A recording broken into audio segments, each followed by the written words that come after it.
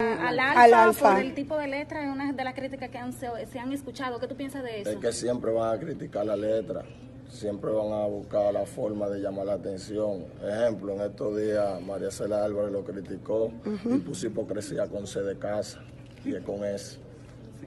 Entonces, ¿qué tú me quieres dejar dicho, mi niña, con eso? La era urbana, tienen que aceptarlo. Lo que no lo aceptan es porque se, se resisten a los cambios. Los relevos generacionales son inminentes si no viviéramos en el feudalismo, ¿tú no crees?